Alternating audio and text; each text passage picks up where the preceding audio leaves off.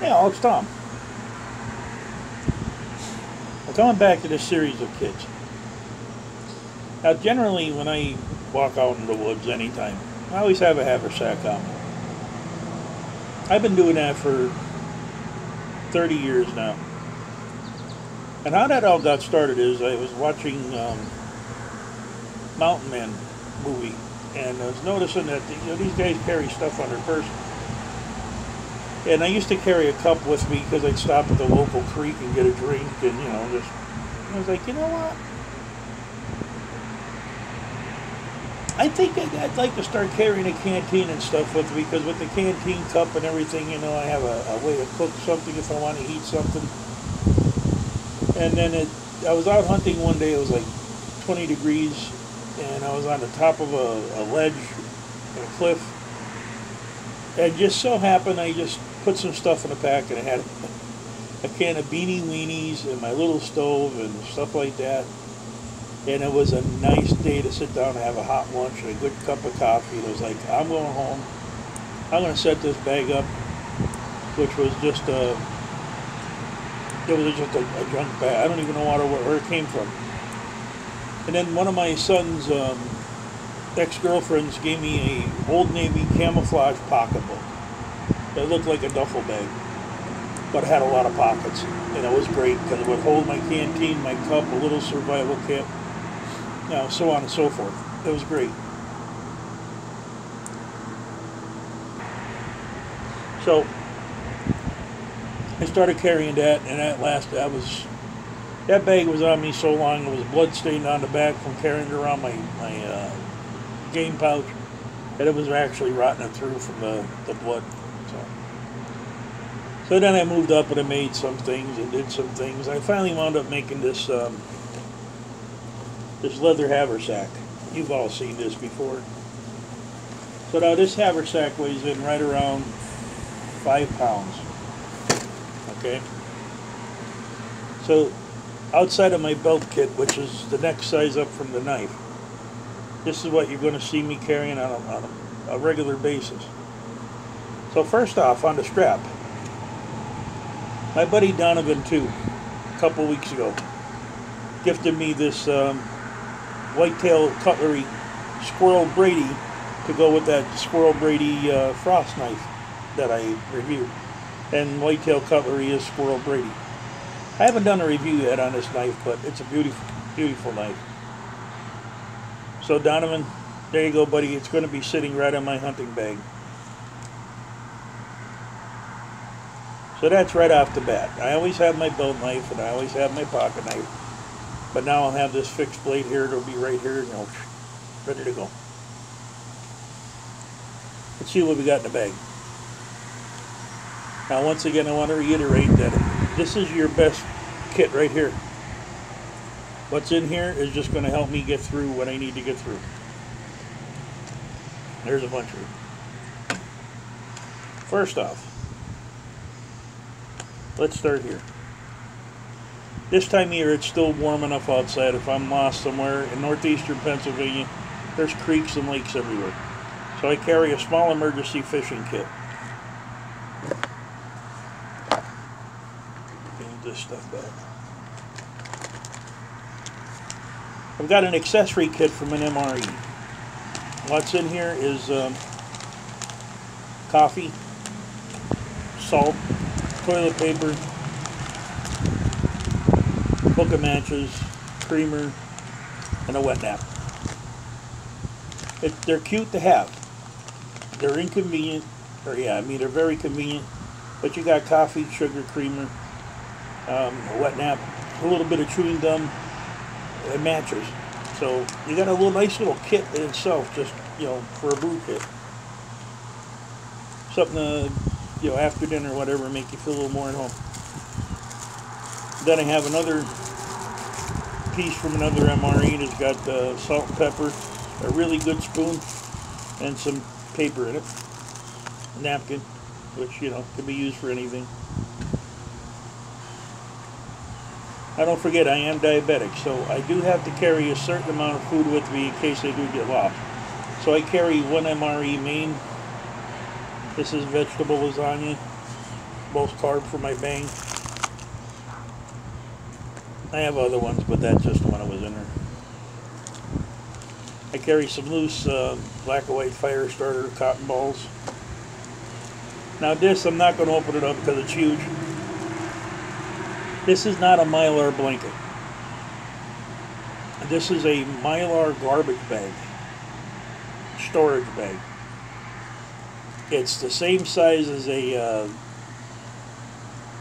uh, what is the size of that bag? I think it's a 33 or a 40 gallon garbage bag.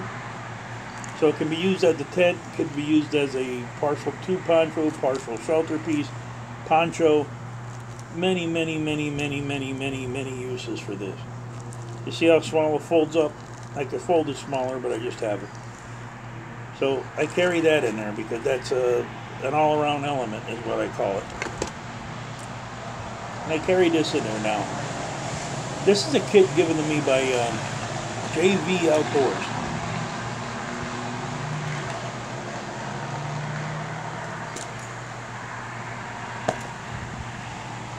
Now with this little kit, what I have here is a small frying pan if I need it. Or something to signal with if I need to. I can polish that up, signal with it. Okay. In here now I have an emergency blanket. That is an irregular, yeah, emergency blanket. It's a 52 by 84, so it's the bigger one.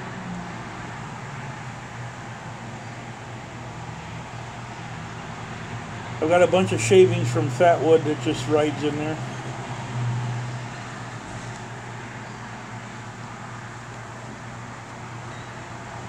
I got another small emergency fishing kit with jigs and stuff.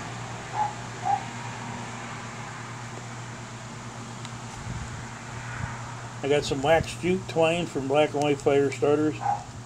I've also got some of their yellow fire rope. Okay. So in this kit itself, it's it's basically a self-contained survival kit. I got some uh, twine and needles.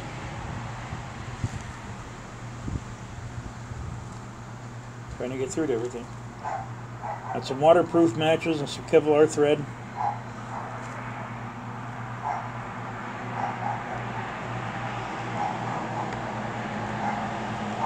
I got a mini blade in there.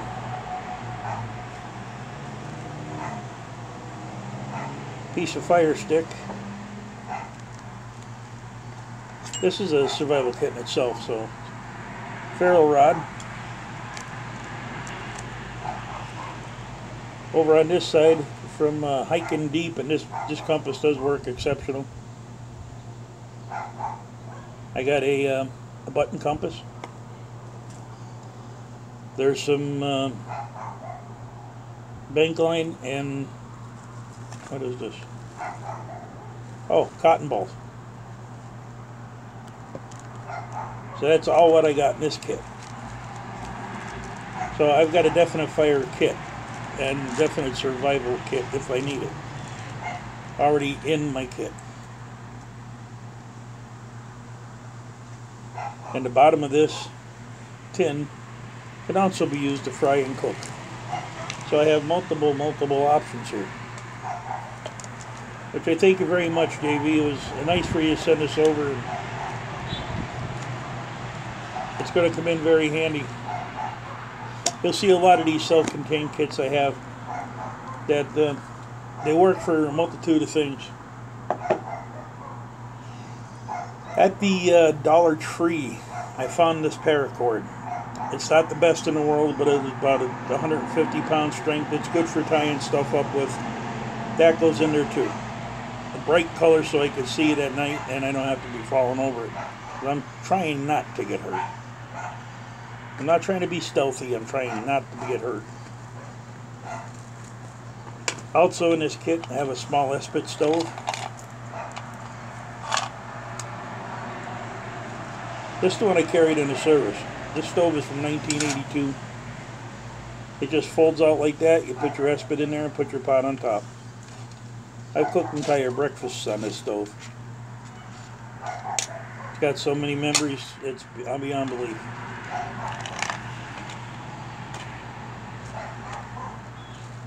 What else we got in here?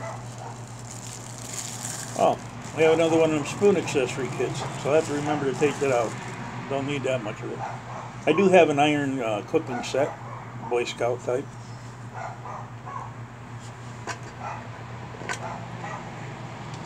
In the bottom, I have 25 yards of bank line, 36.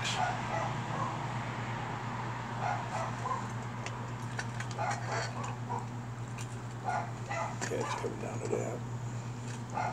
I do have a match case. Yeah, I have a lot of redundancy and fire in all my kits.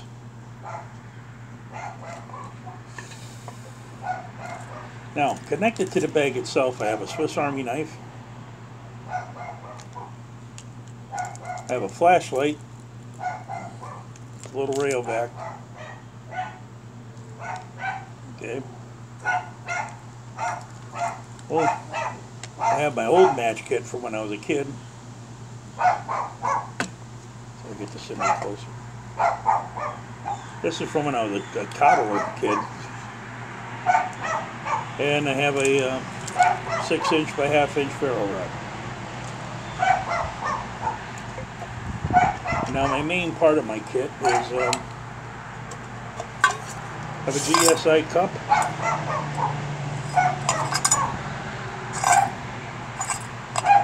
In there I have also what they call a Fred. Uh, an eating tool with a can opener on it and stuff. And I have a one quart single wall bottle. That's the bank line to hang stuff up with.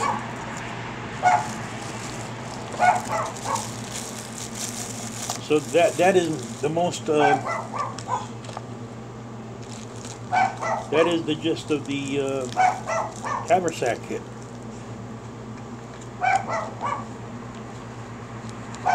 Yeah, there's a lot in there. But it's going to affect my survival over the course of whatever. I have had occasions, even hunting with my brother,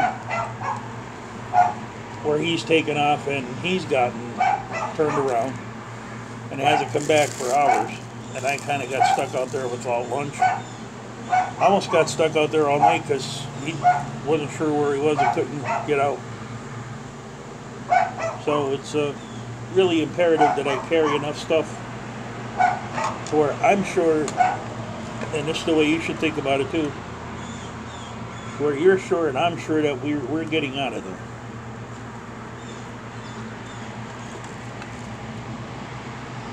There's no doubt in your mind you're gonna you're getting a fire. There's no doubt in your mind you're gonna have a shelter. There's no doubt in your mind you might eat. And you've got a way to, to get water. Okay, so that that's the way I look at it is that's what a kit's supposed to do. It's supposed to give you that. Hang on.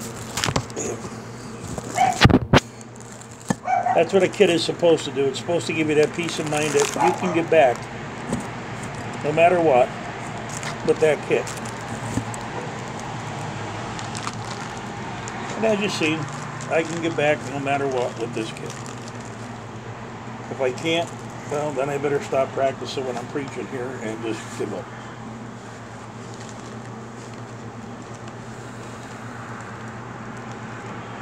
But you've got to be, even the unskilled,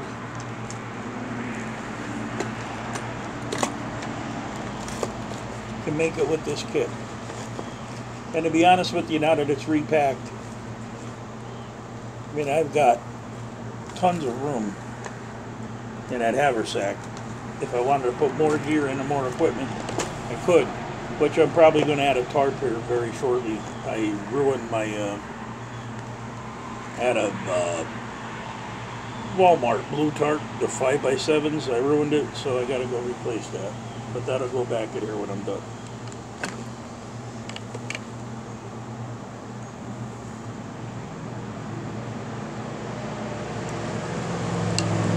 So that's the whole arrangement.